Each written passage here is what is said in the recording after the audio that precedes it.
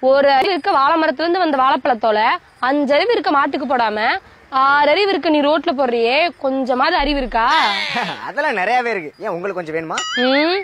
முத உனக்கு இந்த ஆறு அறிவுனா என்னன்னு தெரியுமா? இந்த ஆறு அறிவு எப்படி பிரிச்சிருப்பாங்கன்னு தெரியுமா? ஒவ்வொரு உயிருக்கும் எத்தனை அறிவு இருக்குன்னாவது தெரியுமா? தெரியாது. ஐயோ வாழைப்பழத்தோல கீழே போட்டு இதுகிட்ட வாயை கொடுத்துட்டேன். சரி அறிவாளி சொல்லு. ஒன்றறிவதுவே உற்றறிவதுவே இரண்டறிவதுவே அதனோடு நாவே.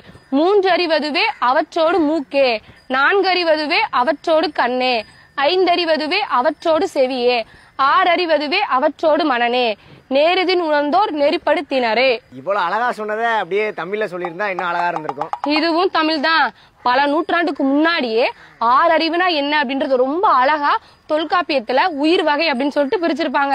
அதுதான் இப்ப நான் சொன்னது. இப்ப இந்த ஒரு அறிவுனா புல் பூண்டு மரம் செடி கொடி இலை தலை இது எல்லாமே ரெண்டு அறிவு அப்படின்னா நத்தை சங்கு சிப்பி இது எல்லாமே. இதே மூணு அறிவு அப்படின்னா எறும்பு கரையா சின்ன சின்ன பூச்சி இது எல்லாமே.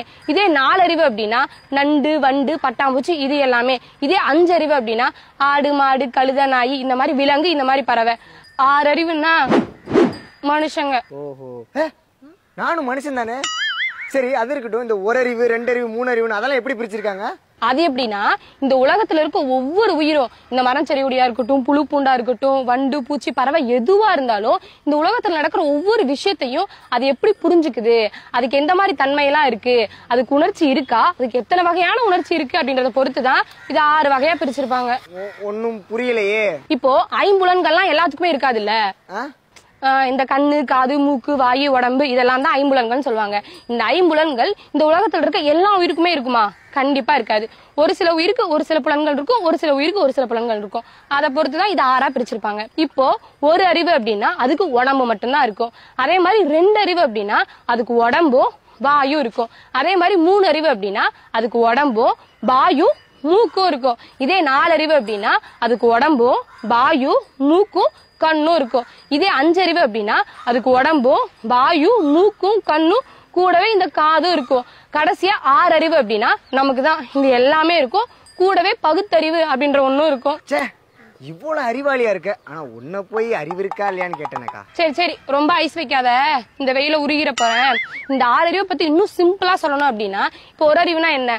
மரம் செடி கொடி இதெல்லாம் சொன்னேன்ல. இது எல்லாமே உடம்பு மட்டும்தான் இருக்கும். நம்ம தொட்டோம்னா திரும்பி ரியாக்ட் பண்ண தெரியாது. அதனால சிரிக்கவோ இல்ல பார்க்கவோ இல்ல ஸ்மெல் பண்ணவோ இல்ல டேஸ்ட் பண்ணவோ எதுவுமே பண்ண முடியாது.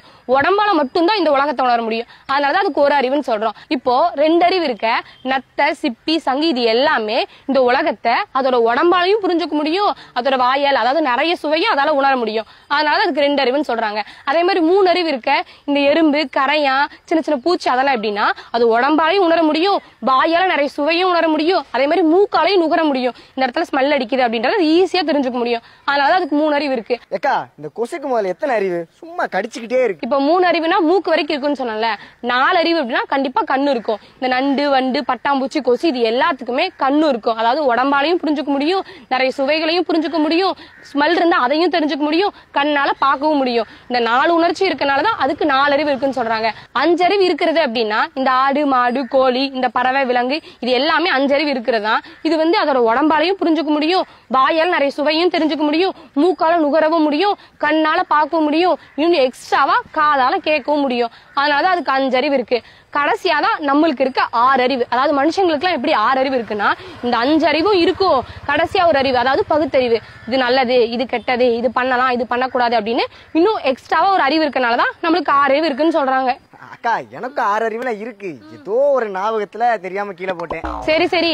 இப்ப நான் சொன்னதெல்லாம் வச்சு ஆறு அறிவு இருக்க மனுஷங்க தான் கெத்து. மத்ததெல்லாம் வெத்து அப்படிலாம் நினைக்காத. இந்த உலகத்துல இருக்க எல்லா மரம் செடி கொடியும் பறவைகளும் எல்லாமே ஒன்னோட ஒண்ணு கணக்குல தான் இருக்கு. ஏன் நம்ம உணவு சங்கிலியும் அப்படிதான் இருக்கு. ஆமாக்கா ஆமாக்கா. அவங்க இல்லாம நம்ம இல்ல நம்ம இல்லாம அவங்க இல்ல. இந்தா. இது மாடு தானே சாப்பிடும். மாட்டுக்கு போடாம ஏன்ட்ட கொடுக்குறீங்க? கூட்டி கழிச்சு பாரு கணக்கு கரெக்டா வரும்? அப்ப நீ மாடுன்னு சொல்றியா நீ? அறிவை திறந்து பாரு. அதில் இல்லாதத சேரு.